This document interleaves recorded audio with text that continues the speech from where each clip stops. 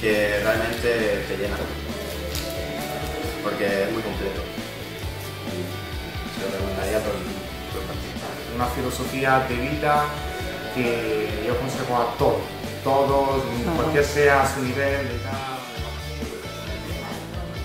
puede ser una sólida base para mejorar tu estilo de vida te deja algo de verdad aunque tú eh, tu carrera deportiva siempre te quedará algo de todo lo que tú has practicado. Mm, no tanto a nivel físico, cuanto a nivel mental.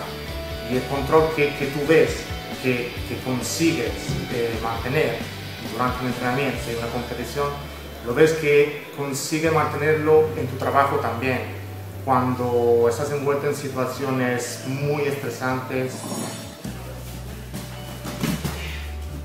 Y ahora siento que estoy empezando a dominar mejor mi cuerpo y sobre todo mi miedo y la, la gana de poquito el instinto, digamos así, el instinto primordial. Ahora lo domino mejor y llevo más control.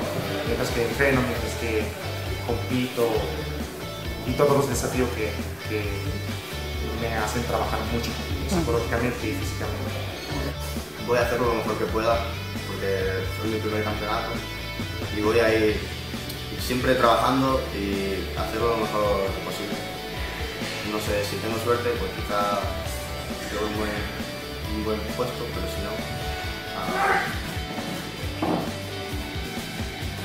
Por ahora, como tenemos un combate dentro de un mes, mi primer objetivo es conseguir dominar todas las tareas de, trabajo en el suelo, golpes y proyecciones y, ver cómo es este mundo que yo no conocía antes y, ¿por qué no?, intentar ganar, si fuera posible.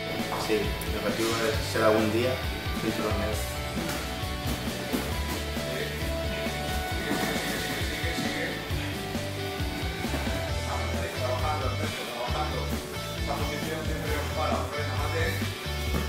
Entrenamos cuatro o cinco, cinco días a semana y por la mañana el jiu tarde el judo y todo acompañado Y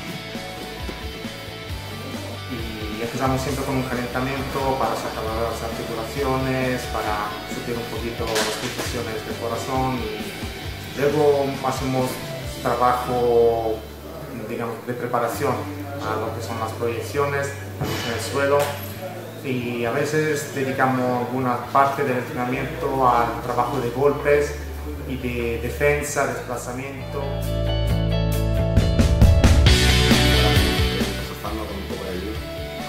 Parte es la que está un poquito controlada. No sé, te aporta mucho mentalmente, ¿sabes? te hace estar más relajado, más controlar mejor las situaciones.